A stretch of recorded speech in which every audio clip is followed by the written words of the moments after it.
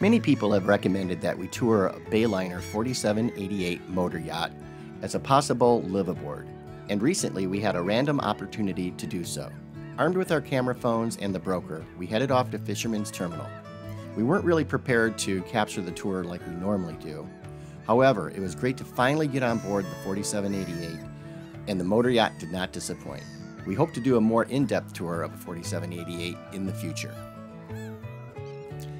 Fisherman's Terminal is operated by the Port of Seattle and is located on the Washington Ship Canal. Home to the North Pacific Fishing Fleet, it is open to the public and has several restaurants and shops. It serves both private and commercial sailing and motor vessels. And if you're lucky, you may even catch a glimpse of some of your favorite crabbers. In 1988, the Seattle Fishermen's Memorial was dedicated to the memory of all the Seattle area men and women who have lost their lives pursuing their livelihood. Names of the fishers who were killed in fishing related accidents are listed by the decade on the stone slabs to the right and the left of the statue. This monument has provided their memory a residence, a site for family and friends to visit, to place flowers, and to reflect and to heal.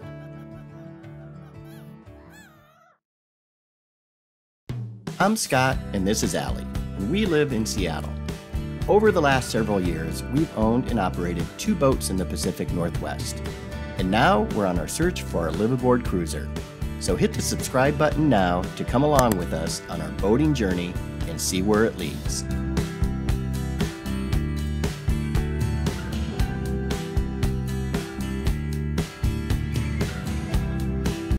Boarding the boat, the cockpit features a new SeaDek floor, a ladder up to the flybridge, and a custom hatch to keep the elements out of the fully enclosable space. The owners added the blue rope lighting to help locate the boat at anchor when returning to her after dark.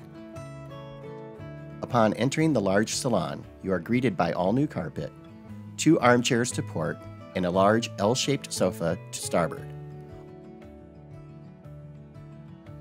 The galley had similar equipment to our Bayliner 4087. It had a lot of counter space.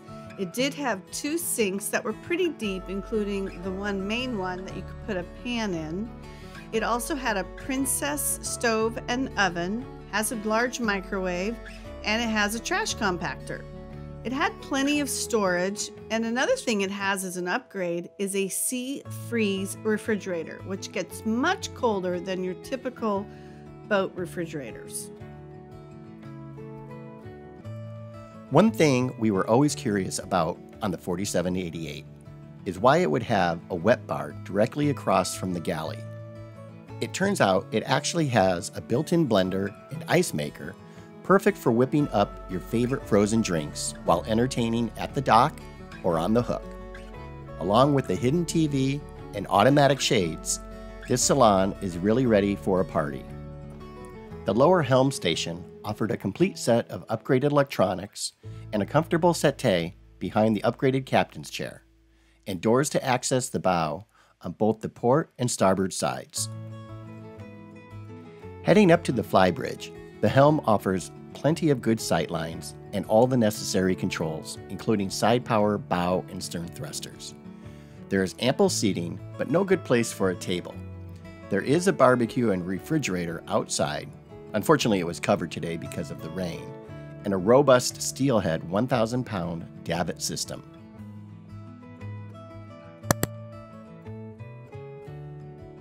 One thing you'll notice right away is on the electrical panel, the owner had put tags on each fuse of which to leave on. That's a great idea. Never thought about doing that, and we're going to do that on the next one. Heading down to the cabins, the Dayhead had plenty of space, but it had a really large lip going into the head, which could easily be tripped on if you're me. The day head did have a separate shower versus having a wet head. That's another must for us for any liveaboard. The first guest cabin is set up great. Unlike many guest cabins, the bed is not on the ground floor, making it much easy to get in and out of. This room also offered plenty of storage space. There is a washer dryer combo located in the hallway, and it looked actually to be fairly new. Washer dryer is another must for us on a liveaboard. The master stateroom was actually a V berth, and the bed is not a full walk around. That is a little bit of a deal breaker for me. These motor yachts were also built with partitions between the staterooms that could be easily removed. That's what this owner did between the bunk room and the master. He replaced it with a curtain to offer privacy for when they do have guests, but most of the time they use the bunks for storage, and the top bunk can be lowered to help make a day lounge out of it as well. The master also had plenty of storage. We were surprised by all of the drawers and closets, so that would make it a great liveaboard. It's just I needed the bed to be a walk around. The master head offered plenty of space, and we were shocked to see that the shower is actually a bathtub. Imagine how much water that takes. I'd probably kill myself trying to get in and out of the thing. Well, that wasn't our usual video of a tour that we normally do, and that's mainly because it was very impromptu. Mm-hmm. Uh, we actually were out to lunch. We got a phone call. Hey, we've got a 4788. You want to look at it? And we ran straight to the marina. So we didn't have our usual camera equipment. We just had our phones. Um, but it was still fun to take a tour of it. Finally, we've had so many people right. that have said, you got to go check out the 4788, and we did. Um, I was expecting it to look like our 4087 and but bigger. but bigger. You know if you if you've ever been on the 3587 it looks exactly like our 4087 but just shorter. And I was uh, surprised in many ways. First of all, it had fantastic upgrades. Oh yeah, the the current owners they have just replaced the new, uh, put in new carpeting, uh, forward and rear facing cameras, computer navigation, all new upholstery, all new upholstery, upgraded autopilot, um, electric shades, electric shades, captain's chairs on upper and lower helms. Refinish the woodwork. I don't know if you Re- mentioned that. Oh, refinish the woodwork. Yeah. So yeah, it, it was set. I mean, it was really nice. He's and they've taken really good care of it. Um, it's only the second owner that owns this. Um, what I was surprised about was it didn't look like our boat. So right. um, there are a few things, you know, so people are asking us, so is it it? Is it the liveaboard? And unfortunately, it's not. And yeah, at least not for us. Yeah, I'm gonna give you a reason why. You know, it was a fantastic cruiser. If if we weren't looking for a liveaboard, I think that oh, yeah. is the boat for the San Juans, Absolutely. for exploring the Puget Sound. Why is it not the boat for us? Well, uh, there are four things that I absolutely have to have. Um, and they're not anything major, but mm -hmm. the first is I want a fairly decent galley. Um, and I thought this one had a decent galley. It not had too a, bad. We could take out the trash compactor, put yeah. in more shelving there. It had a um, sea freeze refrigerator, yep. which is fantastic. Big sink. Had a big sink, so it had everything in there. What it didn't have was a dinette set. Right. And you know me, I like Or to, even a bar. It didn't, didn't even have a bar. It didn't even have a bar you could sit at. So I like to entertain and and um, you know make cocktails and make dinner for people. So it didn't have that, which mm -hmm. was a mm-hmm. bummer. And on top of that, it didn't have anywhere you could sit outside and eat. Right. And that's another big thing. We like to have cocktails again. Okay, we got a drinking problem, but we like to have cocktails and I see a theme and, going here. And uh, serve appetizers. And the cockpit was way too uh, shallow. Yeah, very shallow, very shallow. Have, and upstairs there was again no table. And again, this is one of the reasons we got we sold, not got rid of, but we sold the 4087. Mm -hmm. We want outdoor space to be able to entertain. Um, and I think the other big one for me, as everyone knows, is I'm a little spoiled, but I want to walk around bed. After right. having an aft cabin master stateroom, I am in love with that style. I don't want to have to hop into bed.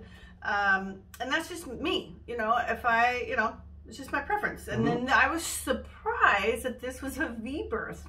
Yeah, um, me too. It had tons of storage though. Uh, for a master stateroom, that room had gobs of storage. They had converted, they took out the partition um, and right. which allowed you to separate, which is very easy to do on these. And he put in a tract for a curtain that then separated the double bunks and he uses that for storage. You can Mhm. also lower one of the top bunk and make it a like a couch, a day bed. Yeah, it almost doubled the size of the the master cabin. Yeah, and the master uh, head actually had a bathtub, which I don't know that I would ever take a tub because you'd use all that Right, water. Right. Especially when you don't have a water maker. Yeah, um, so those are the big ones for us. So we'll just keep on looking. What. Keep else can we do? Yeah. So so stay tuned next week. We've had a lot of people ask us, what is your plan? You know, your boating journey, you're looking for a liveaboard.